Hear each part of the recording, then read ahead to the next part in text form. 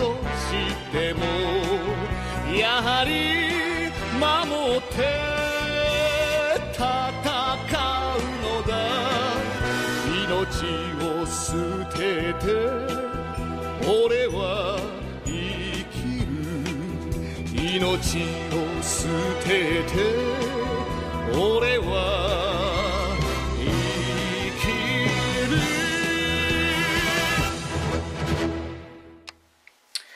Bonjour à tous, alors aujourd'hui une petite vidéo un peu particulière, déjà on change de, domaine puisque nous quittons euh, l'univers des robots transformables pour euh, euh, l'océan infini de l'espace où écume un corsaire ou un pirate bien connu, cher aux gens de ma génération, c'est donc Albator ou plus exactement en version originale, Capitaine Harlock ou Airlock puisqu'il y a des, des différences euh, suivant les éditions, euh, je pense pour des raisons de droit.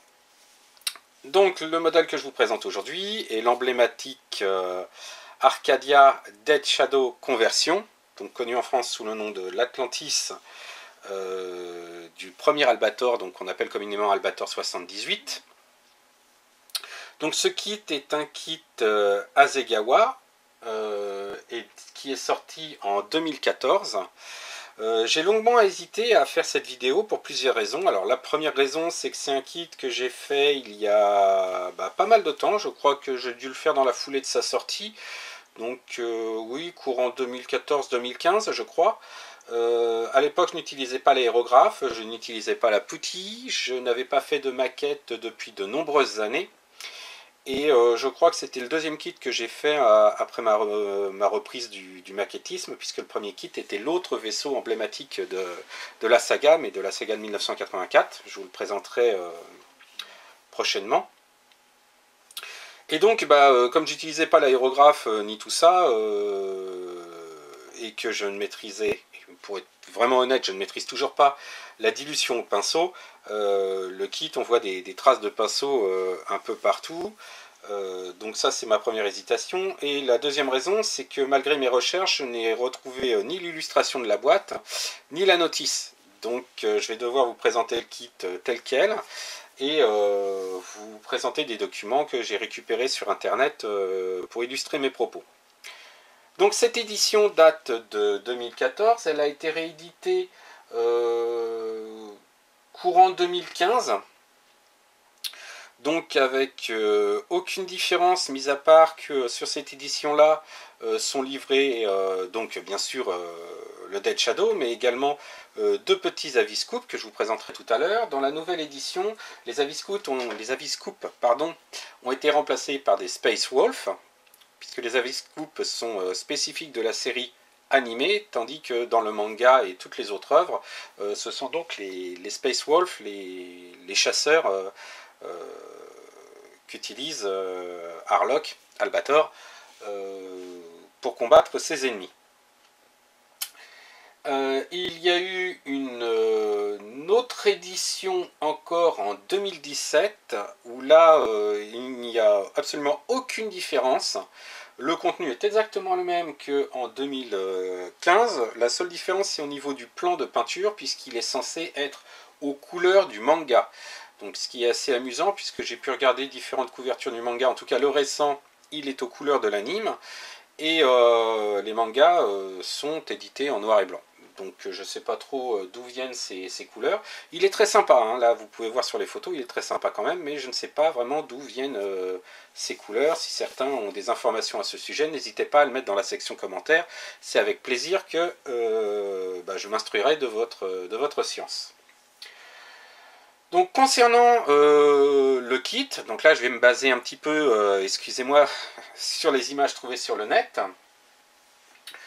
Donc on va regarder euh, très rapidement la notice. Donc là, euh, les grappes en présence, donc vous voyez quand même qu'il y a un certain nombre de grappes euh, et une seule pièce non utilisée. Alors logiquement c'est la, base du support, puisque le support de, de l'Arcadia est, est spécifique. Ensuite, au niveau du montage, eh bien, on commence par la proue du vaisseau. Vous voyez qu'il y a plusieurs armatures à l'intérieur pour euh, consolider le tout. Le montage est relativement aisé. Il n'y a pas de, difficulté particulière. Bah, on est sur de la Zegawa, hein, donc ça s'adapte relativement bien. Cependant, bah, je vous le montrerai tout à l'heure, il y a quelques lignes qui s'adaptent pas euh, tip top et euh, même si c'est intelligemment pensé puisque c'est vraiment un niveau où il pourrait y avoir une jointure euh, imaginée de, plaques ou de, panneaux. moi, j'ai malheureusement pas réussi à bien adapter le, tout et il y a quand même un, certain un, jour qui est assez disgracieux.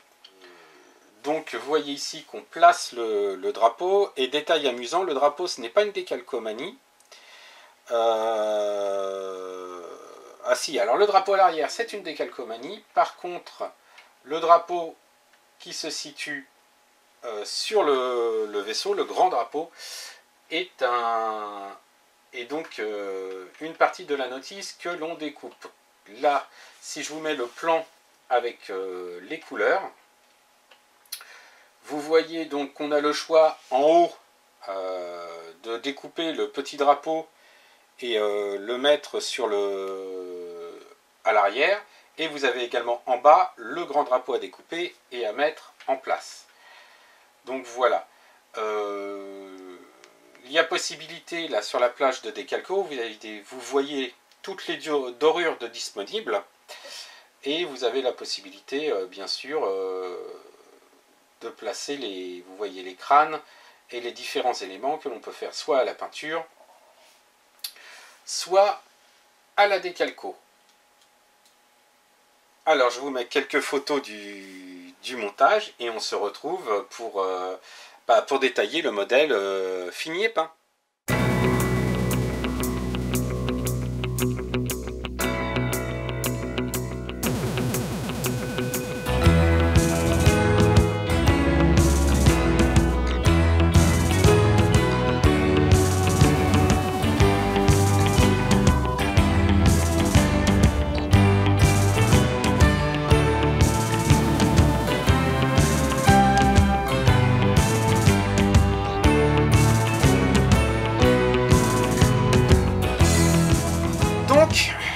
Voilà le fameux Dead Shadow, Atlantis en français, terminé. Donc entièrement peint euh, au pinceau. Bah, euh, pour quelqu'un qui n'avait pas pratiqué la, maquette depuis euh, bah, pas mal d'années, hein, pas mal d'années, hein, puisque j'ai dû arrêter de faire de la maquette vers 16-17 ans, hein, puisque bah, les études différents aléas ont fait que c'était une activité pour laquelle je n'avais plus de temps à consacrer. Et je m'y suis remis il y a, euh, oui, je vous dis, 5 ou 6 ans, donc en commençant par ces kits de, de Harlock, donc en commençant par euh, l'Arcadia que je vous présenterai, et ensuite j'ai fait ce kit.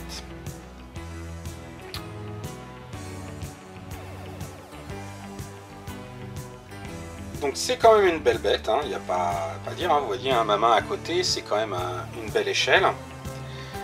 Donc je parlais des problèmes de jointure, euh, il se situe essentiellement euh, au niveau des ailes ici. Il y a une, euh, un jour et deux panneaux sur le côté que je vous montrerai tout à l'heure. Là vous voyez aussi au niveau du, de, la, de la cabine, alors je ne sais pas, on va essayer de zoomer. Donc voilà les détails de la, de la poupe. Donc les dorures sont faits à, l'aide de décalcomanie. J'espère que Monsieur Focus m'aide. Voilà. Donc euh,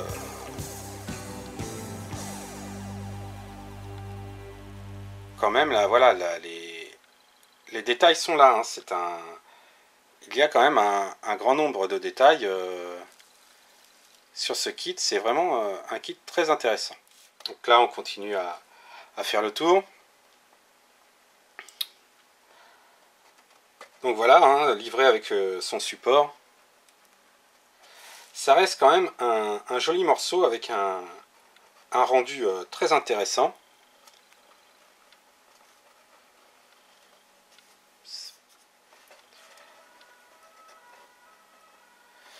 Voilà.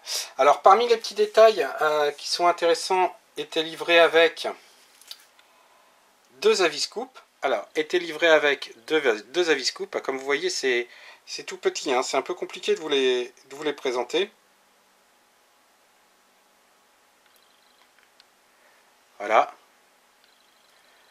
Donc, euh, pour vous donner un ordre de la taille, hein, euh,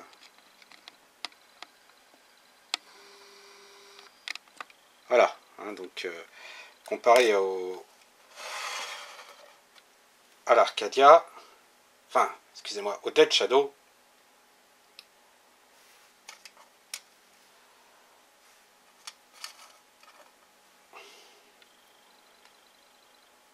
Voilà, hein, vous voyez, c'est vraiment petit. Hein, là, si je le pose sur l'aile, euh, c'est vraiment, vraiment tout petit, mais euh, très sympa comme, petite, comme petit détail.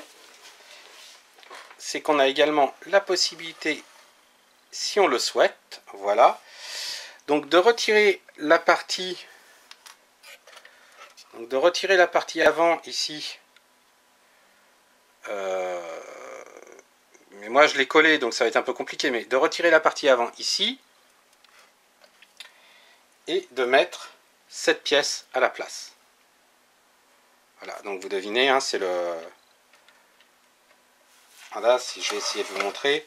Donc ça serait le, le, tranchoir, le tranchoir, pardon, le tranchoir de roux. Voilà. Donc qui se placerait ici. Donc on retire la partie rouge là, qu'on remplace par celle-ci.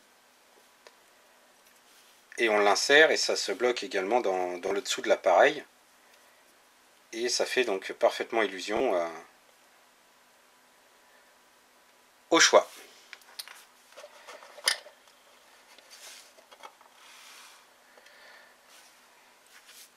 Donc voilà, c'était une petite vidéo rapide pour vous présenter l'Arcadia Dead Shadow conversion. Euh, désolé pour le manque de documents, hein, comme je vous ai dit, euh, je ne sais pas du tout, j'ai pu mettre la notice de ce, de ce kit. Bah, en espérant quand même que ça vous a plu. Euh, si vous êtes comme moi fan, ou en tout cas que vous aimez énormément l'univers d'Albator, je ne saurais que vous conseiller bah, la relecture des œuvres de Leiji Matsumoto que l'on peut trouver euh, sur internet euh, de manière totalement légale. Hein. Sur Amazon, vous pouvez par exemple prendre les versions dématérialisées au, format électronique. Hein. Moi, c'est ce que j'ai fait. Donc, j'ai pris le manga d'origine qui n'a jamais été terminé, mais également la nouvelle version dont le dernier tome sortira courant en juillet. Sinon, euh, je vous conseille aussi très vivement la bande dessinée en trois tomes, dont les deux premiers tomes sont déjà euh, sortis de Jérôme Alquier, euh, qui est donc un dessinateur de bande dessinée français, que j'ai eu l'occasion de rencontrer à la, Japan Tour, euh, donc à Tours cette année. Il m'a même dédicacé un album, hein, vous pouvez voir à, l'écran là. Donc un petit Frenchie qui dessine dans l'univers de Leiji Matsumoto euh, avec donc l'aval euh, du maître. Euh, beaucoup de respect, j'aime beaucoup son dessin, j'aime beaucoup son univers. Donc si vous êtes fan d'Albator, je ne saurais que vous conseiller de lire bah, les deux premiers tomes, le troisième tome sortant, il me semble, à la fin de l'année.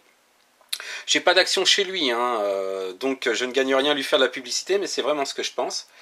En attendant, je vous souhaite une bonne semaine et j'espère vous retrouver dans une prochaine vidéo.